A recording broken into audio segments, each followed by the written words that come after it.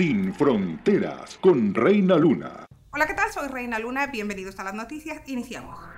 Elementos de la octava zona militar decomisaron en efectivo 2.345.000 dólares y un poco más de un millón de pesos. La fuerte cantidad fue encontrada en maletas, cajones y anaqueles en un domicilio de la colonia Viveros en Nuevo Laredo. Hay dos personas detenidas. Si eres una persona beneficiada con DACA, hay algo que la Unión del Pueblo entero quiere que sepas y es evitar pasar por algún punto de revisión migratorio en auto, autobús o avión. Hay una alerta expedida por esa organización pro inmigrante, pues asegura que la patrulla fronteriza podría detenerlos por horas o incluso por días.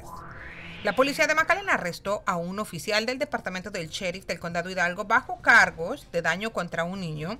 Un juez le dio una fianza por 5 mil dólares a Emilio Zavala, quien ahora se encuentra en libertad, pero bajo investigación la oficina del sheriff le ha retirado de su cargo, al menos temporalmente. ¿Acaso el amor a México termina en el Bravo o en el Suchiati?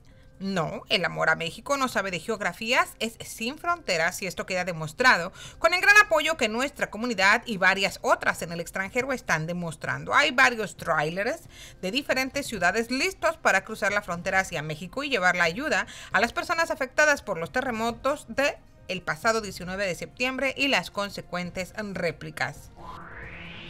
Pedimos su apoyo para encontrar a José Manuel Sánchez Benítez de Michoacán. Él desapareció en la ciudad de Vallejo, en California, Estados Unidos. Ocurrió a principios de este mes de septiembre. Si usted sabe de él, informe a Sin Fronteras. Les recordamos que transmitimos desde Brownsville, Texas por Estrella TV en el canal 23.2 aire y 811 cable, pero puede vernos en redes sociales en Reina Luna Sin Fronteras. Saludamos con mucho gusto a nuestro auditorio del sur de Texas, norte y centro de Tamaulipas, norte de Nuevo León y de Coahuila, donde llegamos por aire. Nos vamos al clima.